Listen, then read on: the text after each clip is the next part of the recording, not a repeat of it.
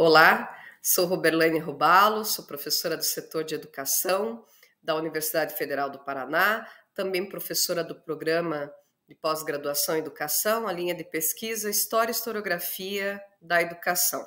E eu gostaria de compartilhar com vocês é, o artigo que publiquei intitulado A Longa, Concreta e Imaginária Presença dos Manuais de História da Educação Estrangeiros no Brasil, de 1930 a 1980.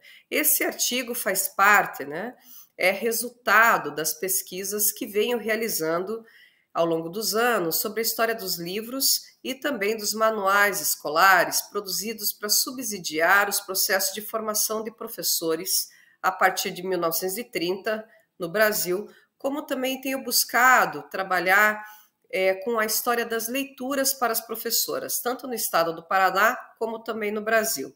O texto, especificamente, privilegia os dois manuais de história da educação com vasta publicação no país entre 1930 e 1980.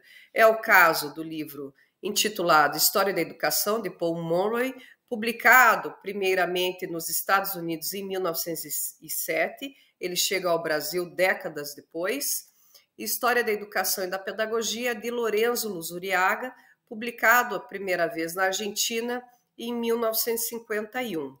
Os dois manuais, eles foram publicados na coleção Atualidades Pedagógicas, dentro do projeto editorial Biblioteca Pedagógica Brasileira, que foi inaugurado por Fernando de Azevedo em 31, na Companhia Editora Nacional. Esses dois manuais fizeram parte é, de um repertório de 11 manuais de História da Educação que são publicados na mesma coleção.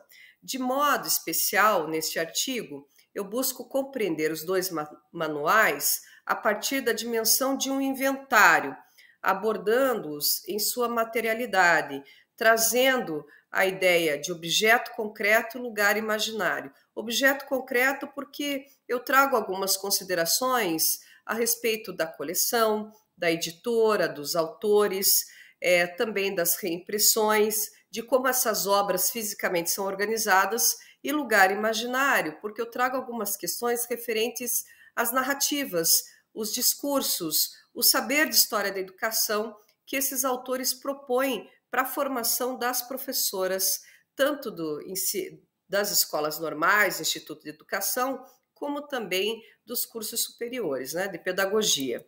É interessante observar que os manuais estrangeiros de Monroe e Luzuriaga acabaram ganhando é, um importante espaço como subsídio da disciplina de História da Educação nos cursos secundários e também superiores, devido também às reimpressões realizadas durante décadas, como é possível observar aqui na imagem. No caso da obra do Paul Monroe, são é, 18 reimpressões, né?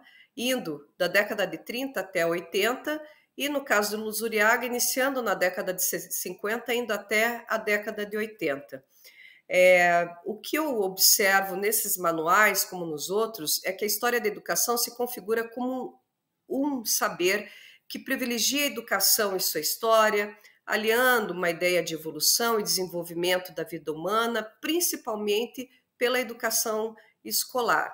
Há uma defesa no que se refere à história da educação, né, as ideias que mais são defendidas é que essa é, disciplina ela tem que fazer um estudo do passado e também se tornar um meio para explicar o presente e prever o futuro. Então eu deixo aqui um convite para a leitura desse artigo, como também de outros materiais. Obrigada.